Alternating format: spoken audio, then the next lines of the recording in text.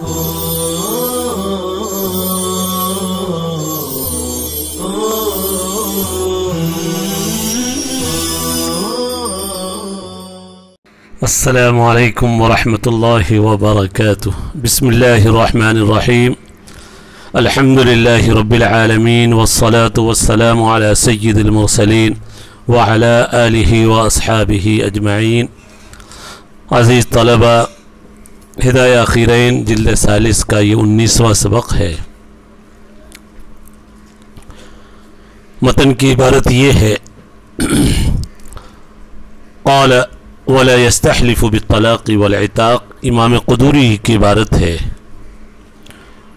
काजी तलाक़ और एताक़ के मतलब कसम नहीं लेगा। तलाक़ और एताक़ की कसम नहीं लेगा। ऊपर मुद्दा अले से कसम लेने का ज़िक्र आया। मुद्दा से कसम अल्लाह की ली जाएगी। अल्लाह के सिफ़ात के ज़रिए कसम ली जाएगी। हदीस भी आई थी, मन का नमिन कुम हालिफन फलियाली बिल्ला जो कसम खाए तो सिर्फ़ अल्लाह की कसम खाए। अवलियादर या कसम ही न खाए। जब अल्लाह की कसम का हुक्म है तो काजी को यह इजाज़त नहीं दी जाएगी कि तलाक़ और एताक़ की मुद्दा आले से कसम ली जाए। उसकी शक्ल ये होगी कि मुद्दा आले से कहा जाए, तुम ये कहो, अगर मुद्दाई अपने दावे में सच्चा है तो मेरी बीवी को तलाक़ या मेरा ग़ुलाम आज़ाद इस तरह की कसम न ली जाए। क्योंकि इस तरह की कसम लेना भी गैरुल्लाह की कसम लेने में शामिल है।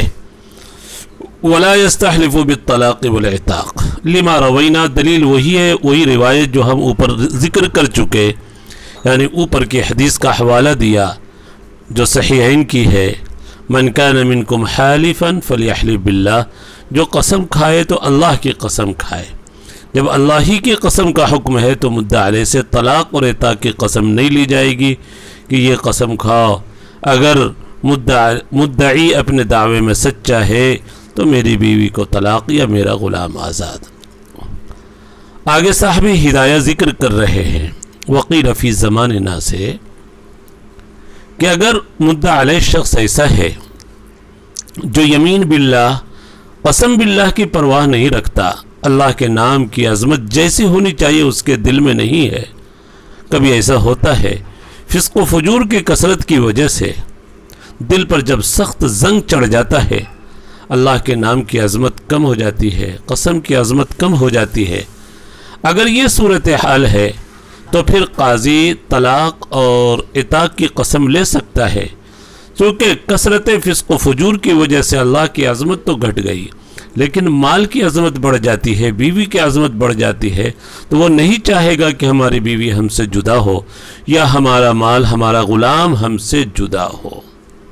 इसलिए इस ज़माने में जबकि खसूस दुनिया की महब्बत बढ़ती चली जा रही है, साहब हिदायत फरमा रहे ऐसे ज़माने में कसम लेने की इजाज़त है। तलाक़ और इताक़ की वकील फ़ी ज़मानिना, इदा अलखसम सागलक़ाजी युहल्लिफ बिदालिक लक़िल्लतमबालाती बिलयमीन बिल्ला हमारे ज़माने में जबकि कसम का इसरार हो, काजी के लिए जायज़ है कि इसकी वो कसम ले ले।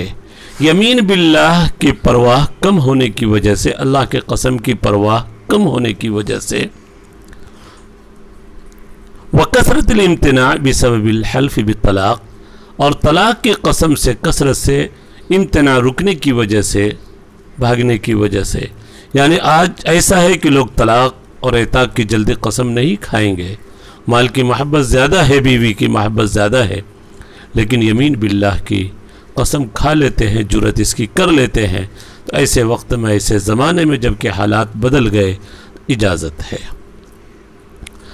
आगे की मतन देखिए, इबारत देखें। वस्तहलफ़ुलहूदी बिल्लादी अनजल तौरत अला मूसा अलैहिस्सलाम वनसरानी बिल्लादी अनजल इंजील अला ईसा अलैहिस्सलाम अगर मुद्दा अलैह यहूदी है तो उससे सिर्फ़ अल्लाह की भी कसम ली जा सकती है अल्लाह को मानता है लेकिन कसम में तगलीस पैदा करने के लिए इस सिफत का इजाफा करने की इजाज़त है बिल्लादी अनजल तौरात अला मूसा सलाम अल्लाह की कसम जिसने तौरेत को नाजिल किया मूसा सलाम पर इस तरह चूँकि यहूदी हज़रत मूसा सलाम पर ईमान रखते हैं और उन पर नाजिल करदा किताब तौरेत पर भी वो ईमान रखते हैं तो यहूदी से इस तरह कसम ली जाए बिल्लादी अनजल तौरात अला मूसा सलाम यहूदी ख़ास कौम है हज़रत मूसम पर ईमान रखने वाले हज़रत याकूब आसमाम के औलाद में से कहा जाता है कि उनके याकूब आसमाम के बड़े बेटे यहूदा की तरफ़ नस्बत करते हुए। इनको यहूदी कहा जाता है, यहाद यहूद हूदन के माना है तोबा करना, इन्होंने बछड़े की परस्तिश से तोबा की। ये लोग तौरेत पर ईमान रखते हैं, मूसा पर भी इसलिए उनसे इस तरह कसम ली जाए बिल्लादी अनजल तौरात मूसा सलाम। तौरेत उनके ऊपर आसमानी किताब नाजिल की गई। तोरेत के माना है शर्य तालीम और शर्य हिदायतें। इस किताब के अंदर शर्य तालीम और शर्य हिदायतें काफ़ी मौजूद थी। मूसा मशहूर पैगंबर है। हज़रत मूसा सलाम इबरानी ज़बान का लफ्ज़ है, मुँह के माना पानी के हैं सा के माना दरख्त के हैं या लकड़ी के। चूँकि जब पैदा हुए तो माँ ने हिफाजत के लिए ताबूत के अंदर लकड़ी के, संदूक के अंदर रख दिया था। और रख कर दरिया में डाल दिया था, इसलिए मूसा नाम पड़ा। ये तो यहूदी से इस तरह कसम ली जाएगी, नसरानी से इस तरह कसम ली जाए बिल्लादी इंजील अल्लाह की कसम, जिसने इंजील को उतारा हज़रत ईसा पर, इंजील पर वो ईमान रखते हैं, हज़रत ईसा पर भी ईमान रखते हैं। नसरानी लोग, नसरानी, ये भी कौम हज़रत ईसा के चाहने वाले, कहा जाता है नासिर बस्ती की तरफ़ मनसूब है, या नुसरत की हज़रत ईसा की। बिल्लादी अनजल इंजील। इंजील उनके ऊपर जो आसमानी किताब, उनके लिए आसमानी किताब उतारी गई हज़रत ईसा पर। इंजील, इसका मादा नजलुन बताया जाता है। नजलुन के माना ही है असल मादा, असल माखज। चूँकि ईसाइयों के नज़दीक ये असल माखज है, बड़ी अहम किताब है। ईसा मशहूर पैगंबर है। ईसा के मान अरबी में कहा जाता है, ऐसा रंग जिसमें सफ़ेदी और सुर्खी मिली हुई हो। हज़रत ईसा का कलर रंग ऐसा ही था जिसमें सफ़ेदी और सुर्खी की मिलावट थी, इसलिए आपका नाम ईसा पड़ा।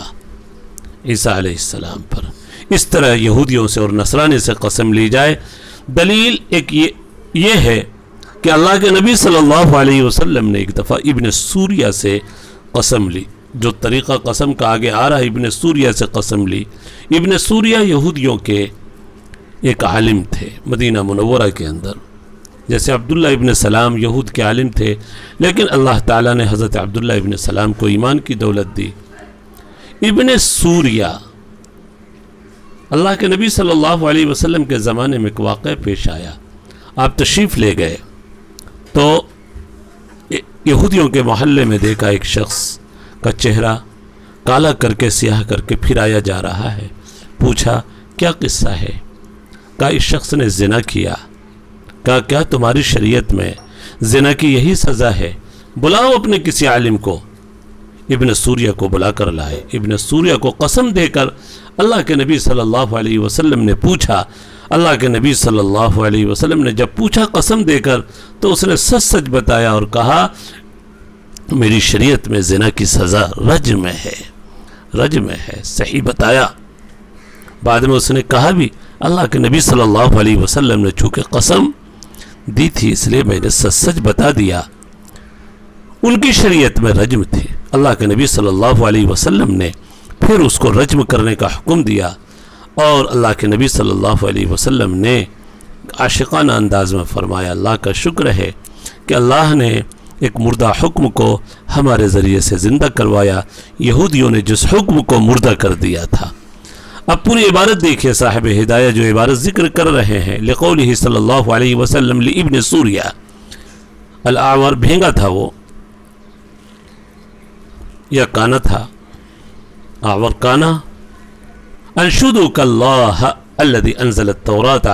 सलाम नशद यनशुदु के माना कसम देना और गुमशुदा चीज़ को तलाश करना दोनों माना आते यहाँ पर कसम देने का तर्जमा करें मैं तुमको अल्लाह की कसम देता हूँ जिसने तौरेत को नाजिल किया हज़रत मूसा पर इन हुक्म जिना फ़ी किताब कुम हादा क्या तुम्हारी किताब के अंदर जिना का यही हुक्म है बताओ यानी चेहरा काला कर देना का नहीं उसने कहा साफ़ साफ़ बता दिया कि हमारी शरीयत में सज़ा तो रज में है, लेकिन शरफा के साथ आसानी बरतते हैं और उनका चेहरा सिर्फ़ स्याह कर दिया जाता है। उन्होंने बहुत सारी तहरीफ अपनी शरीयत के अंदर कर ली थी और उन तहरीफ़ों में से एक तहरीफ ये भी थी कि शरी सारी सज़ाएँ गैर शरफा के लिए, रजील और घटिया लोगों के लिए शरफा को सजाने, सज़ा से बचाने की कोशिश करते। दलील अकली दे रहे हैं। ये इस तरह कसम इसलिए ली जाए कि यहूदी यातद बनबूत मूसा यहूदी हज़रत मूसा की नबूत पर एतक़ाद रखते हैं और नसरानी हज़रत ईसा की नबूत पर फ़ैगल्ल वाहिद मिनहुमा बिदिक्रमनज़ल अला नबी ही इनमें से हर एक पर तगलीस की जाएगी। उस किताब को ज़िक्र करके जो उनके पैगंबर अलैहिस्सलाम पर नाजिल की गई।